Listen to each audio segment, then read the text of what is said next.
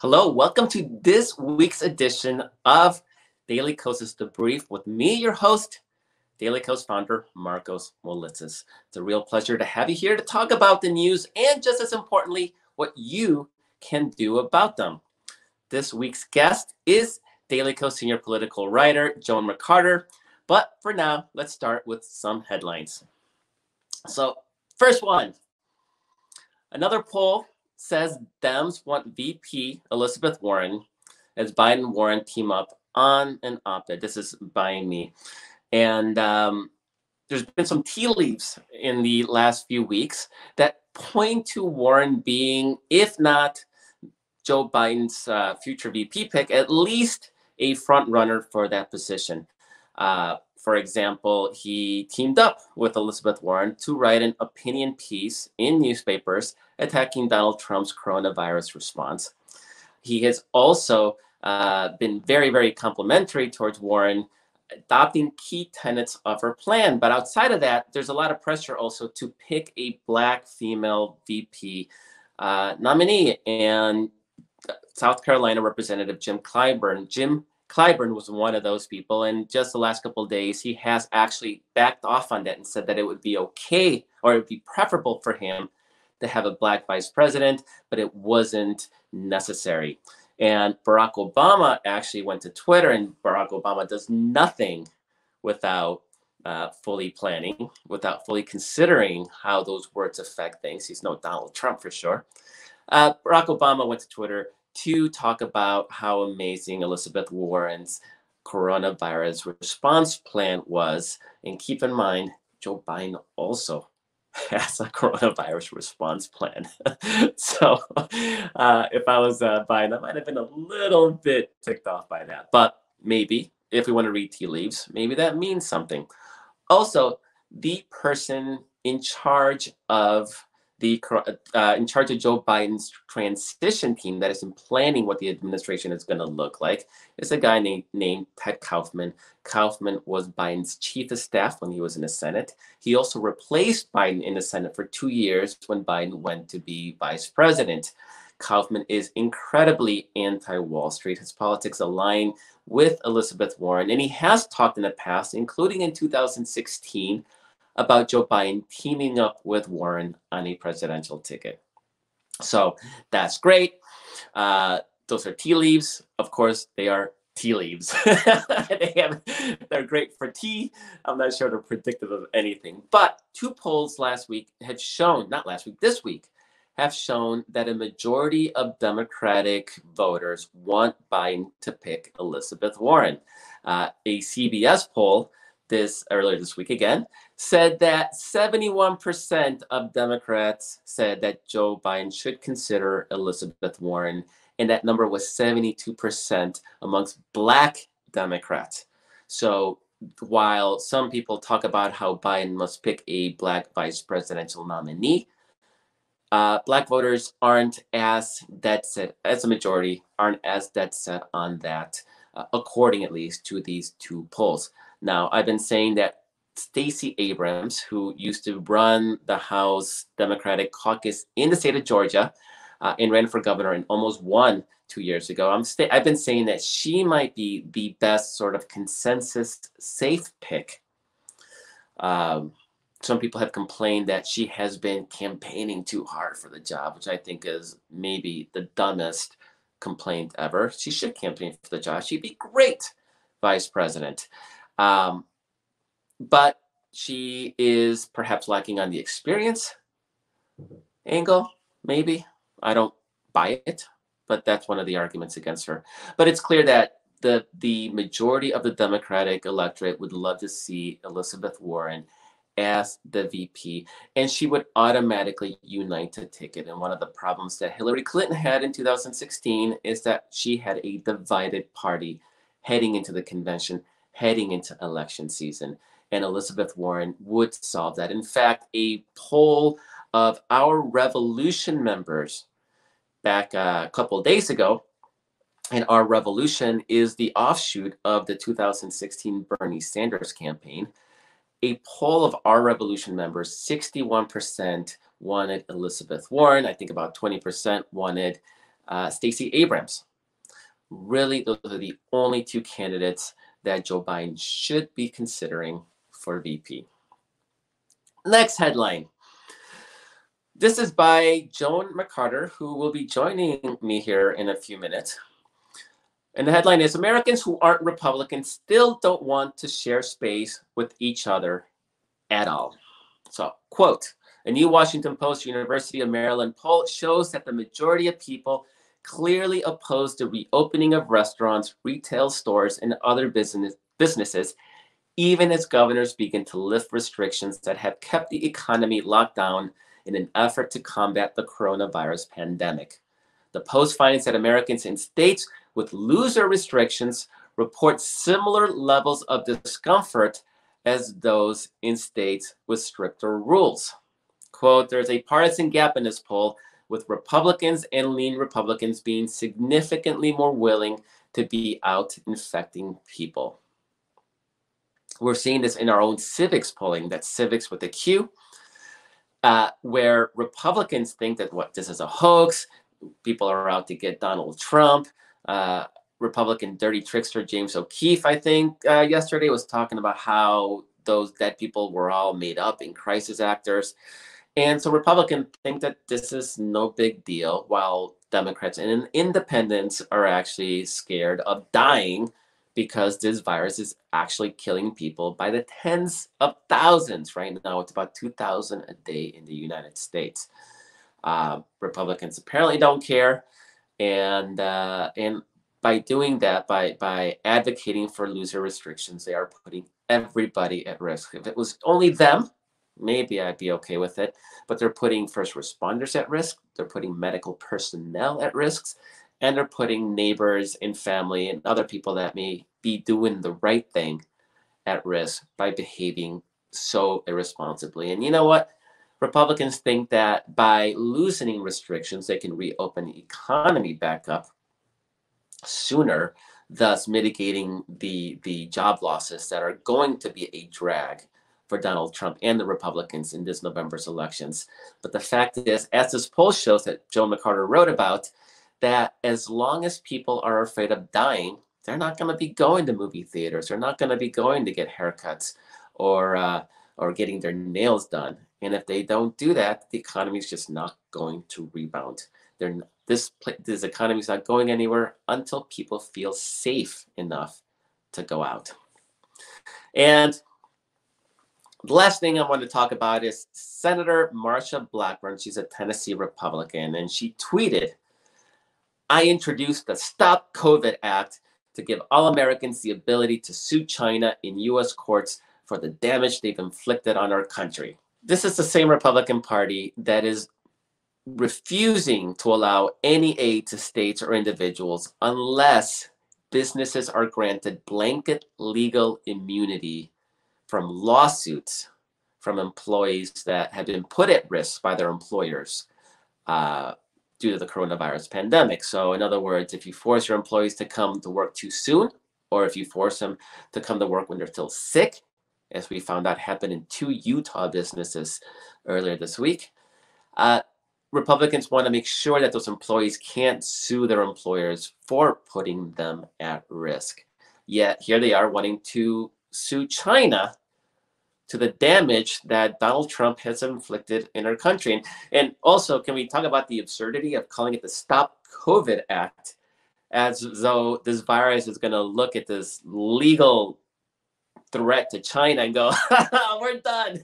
We're out of this country. This is just too scary for us. We're going to be out of here. So, of course, doesn't stop COVID. Of course, it does nothing to alleviate the suffering of the American people, whether it's deaths or whether it's economic damage.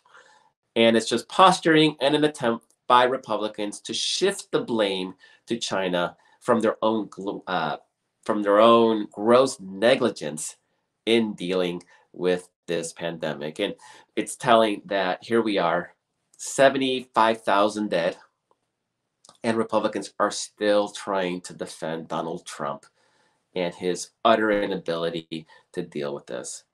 Unbelievable. So, anyway, without further ado, my guest today is Joan McCarter. She is a Daily Kos senior political writer, and in fact, the most senior of all Daily Kos staff writers. The first one ever hired at Daily Kos 13 years ago.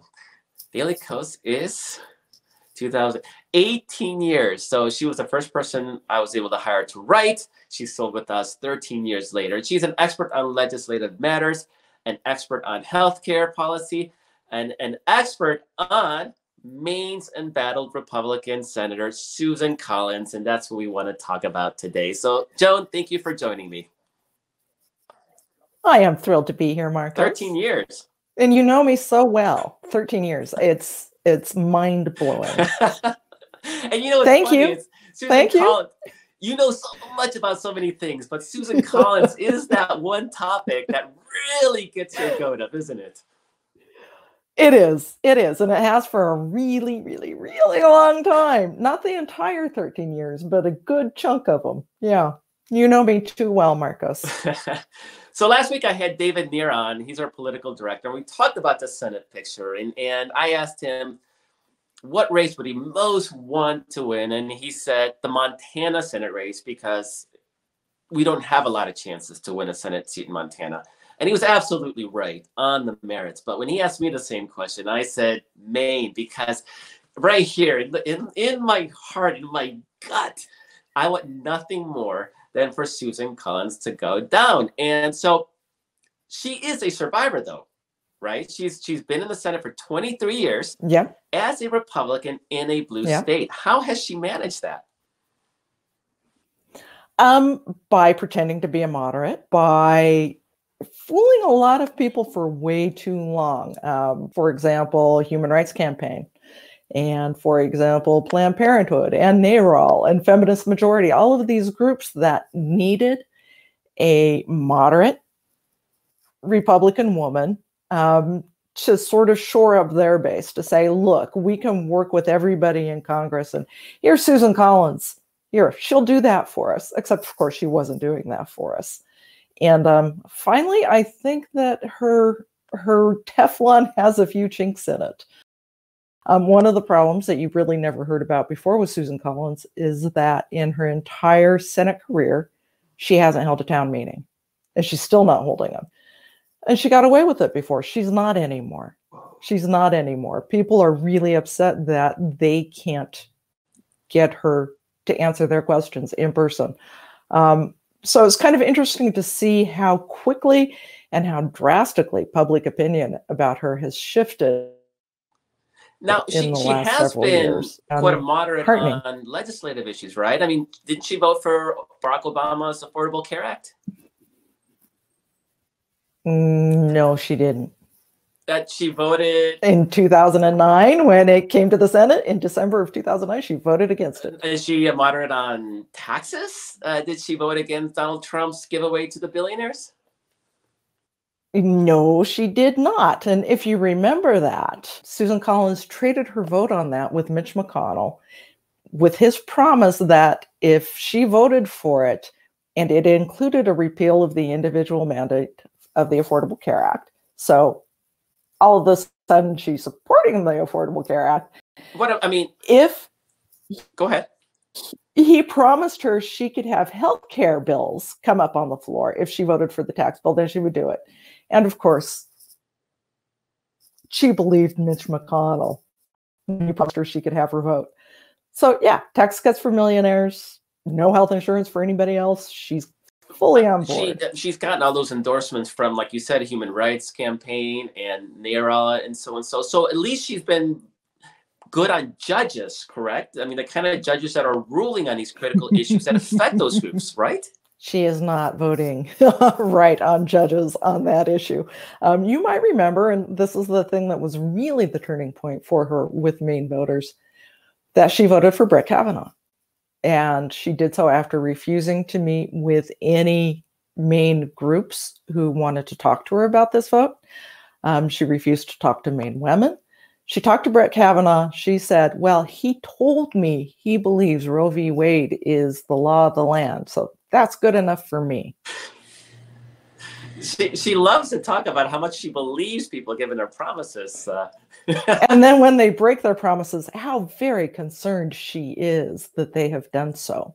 And she'll be keeping an eye on that in the future. Oh, I, I so what exactly makes her a moderate at this point? Yeah, nothing that I can put my finger on. I mean, she's taking money from gun groups. She's taking money from NRA supporters. She's she's taking money from a lot of people who are not in Maine. In fact, she has huge corporate and PAC donations. Does um, she very ever few. vote against Republicans when it matters? Uh, she did once. She did once on the skinny Trump care plan.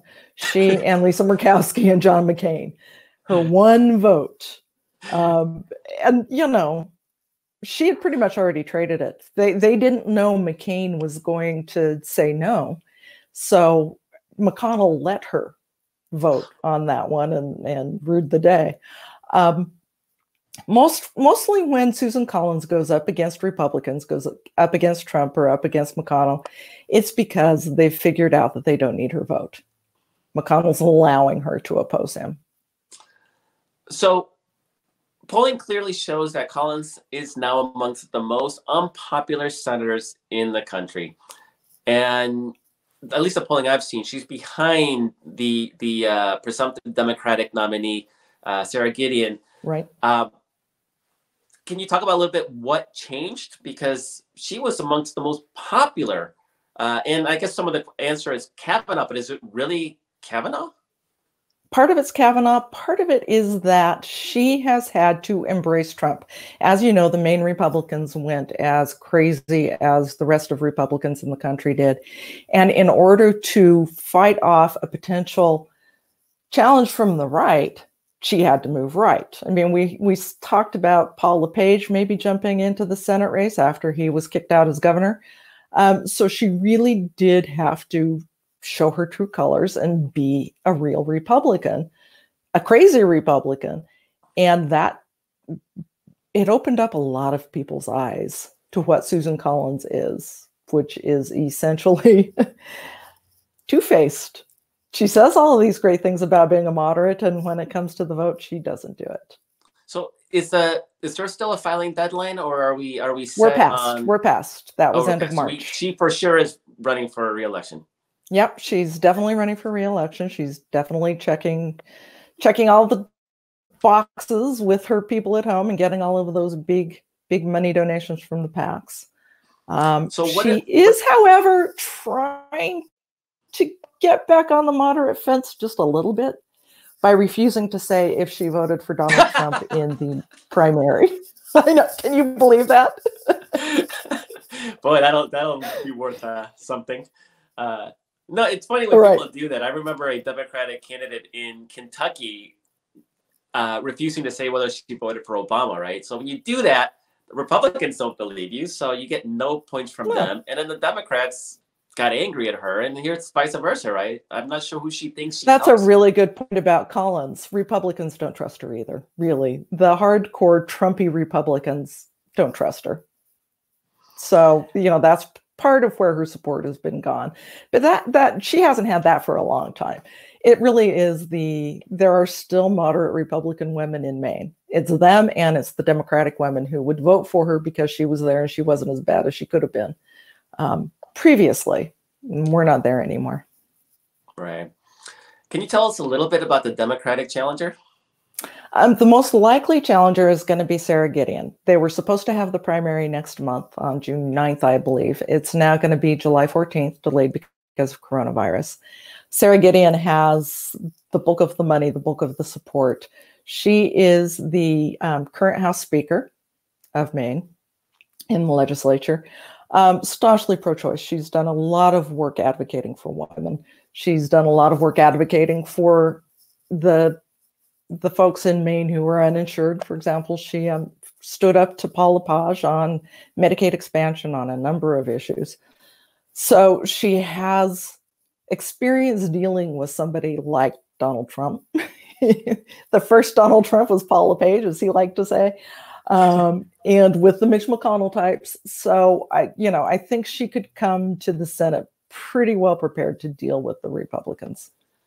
All right. So we know that a Democratic Senate majority runs through Maine. Just as a quick recap, we need to pick up three seats in the White House to have a 50 seat majority plus the tiebreaker vice president. Uh, we're probably going to lose the Alabama seat. So the top three chances or opportunities are, are Arizona, Colorado, uh, North Carolina. Turns out it's one of mm-hmm. those 3 mm-hmm. but Maine as well. So, what can we do, uh, listeners and viewers? What can we all do to hasten the defeat of Susan Collins and, by extension, Mitch McConnell? We can keep donating at our ActBlue page, and I believe we're going to have the link available to that. We are. Right now, it's to the Senate Loan Fund because the primary hasn't been completed in Maine. But as soon as it is, all of the money that we're holding in escrow will go to the to the nominee, which we presume is going to be Sara Gideon. And, and just as we talked about the nominee fund last week, but we started doing those in 2018, and they are mm-hmm. fantastic mm-hmm. because you have these Democrats who can't raise general election money because they're busy in a primary they win the primary and boom, suddenly they have hundreds of thousands or even millions. And I think the nominee fund for our Democratic uh, nominee in in Maine, I think it's over six million, right? Yeah, it's huge because we started immediately after the Kavanaugh hearings. Yeah, and yeah. and to be clear, it wasn't just Daily Kos raising no. into that nominee fund, right? But right. collectively as a grassroots, I think Gideon's over six million, or whoever the nominee is, going to be Gideon, over six million overnight, and um, she'll need more. Yeah, yeah, more the better. This, I just want to say this is not to downplay who Betsy Sweet is, who is the other um, real contender. Not not likely to win because Gideon has most of the political backing, but Betsy Sweet has been a phenomenal activist and organizer in Maine for for decades, um, particularly for women, for women and for for people of color and for the poor. So Betsy Sweet, we really she would be fantastic as well. It's more likely to end up being Sara Gideon. Joan, thank you so very much, and thank you for 13 amazing years, and actually years before you came on as a as a and an employee even. Yeah. Um, yeah.